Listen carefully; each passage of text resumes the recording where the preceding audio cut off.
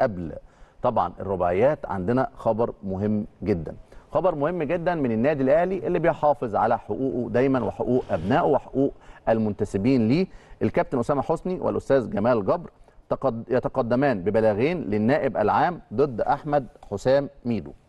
تقدم كل من أسامة حسني لاعب الأهلي السابق والإعلامي بقناة ناديه وجمال جبر مدير الإعلام بالأهلي ببلاغين إلى معالي مست- المستشار النائب العام ضد أحمد حسام ميدو لاعب الزمالك الأسبق وعضو اللجنة الفنية بناديه لقيامه بنشر أخبار كاذبة وتوجيه اتهامات باطلة إلى سالفي الذكر من خلال حسابه الشخصي على موقع التواصل الاجتماعي تويتر.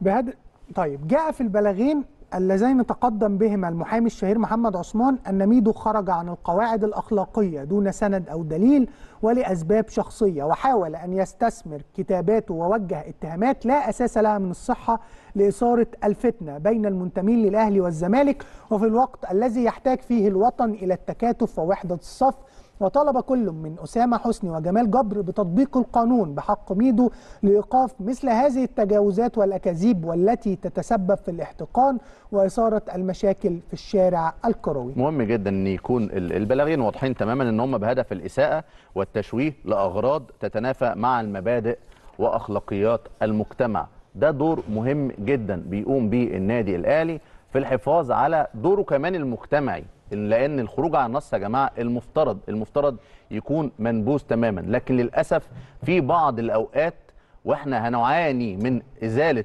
آثار الناس اللي بتتأثر بناس هدفها تشويه الرياضة المصرية بالخروج عن النص بالإساءة بالتطاول باستخدام مصطلحات دخيله تماما على مجتمع رياضي. المفترض يكون أفضل من ده وبالتأكيد دي مسؤولية النادي الأهلي المجتمعية.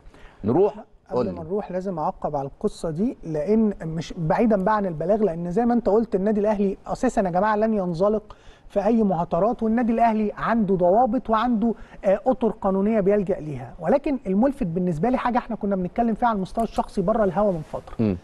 إن كابتن أحمد حسام ميدو طلع في حلقة بعد أحداث معينة تم توجيه فيها خارج قناة الأهلي.